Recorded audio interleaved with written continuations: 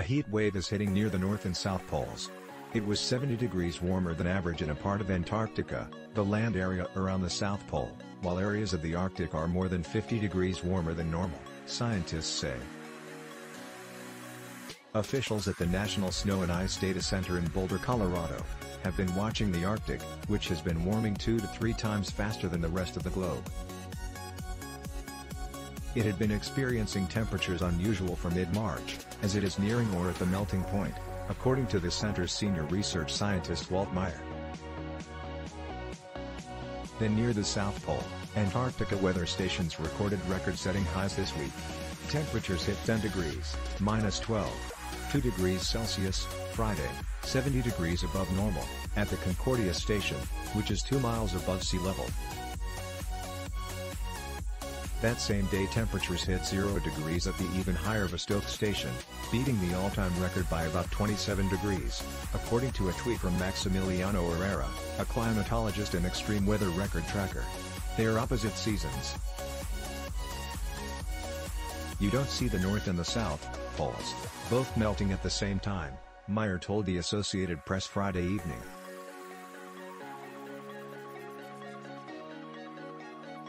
It's definitely an unusual occurrence.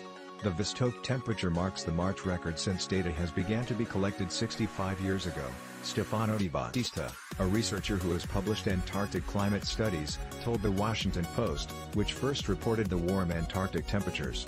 In On Friday, the Arctic as a whole was 6 degrees warmer than was normal from 1979 to 2000, according to the University of Maine's Climate Reanalyzer, based on U.S. National Oceanic Atmospheric Administration weather models. The Antarctic continent was about 8. 6 degrees warmer, it found. By comparison, the world as a whole was only 1. 1 degrees, 0. 6 degrees Celsius, above the 1979 to 2000 average. Meier and University of Wisconsin meteorologist Matthew Lazzara say the Antarctica heat wave is a rare occurrence rather than a significant sign of climate change.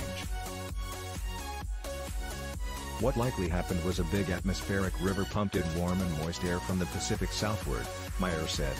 However, if this persists, then it would be something to worry about.